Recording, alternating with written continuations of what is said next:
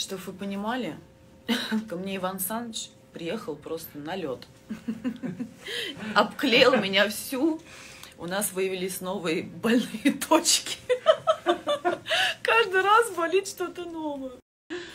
В общем, вроде все закрепили, да?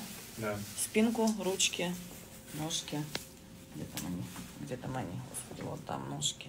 Вот Иван Саныч. Физкуль, привет. Всем привет. Ну что, хотите в большой спорт? Запасайтесь врачами, тейпами, а вообще можете называть меня просто Хрустик. Сегодня новое сделала, потому что их долго носить нельзя. Они держат меня.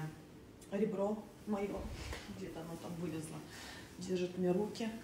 Вот, но я хожу два-три дня, потом снимаю.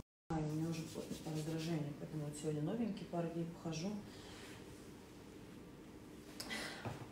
Всем хорошего вечера, я только уезжаю из Лужников. Терминатор передает вам пламенный привет. Хотела в кино сходить, но такое, такое все, такая фигня идет.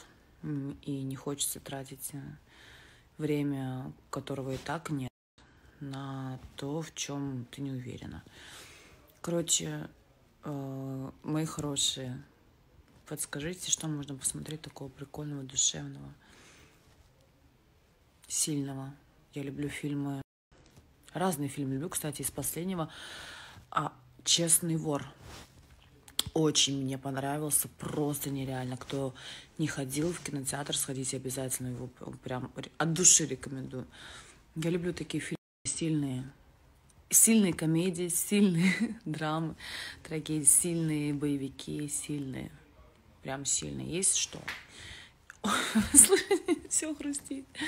Посоветуйте что-нибудь посмотреть.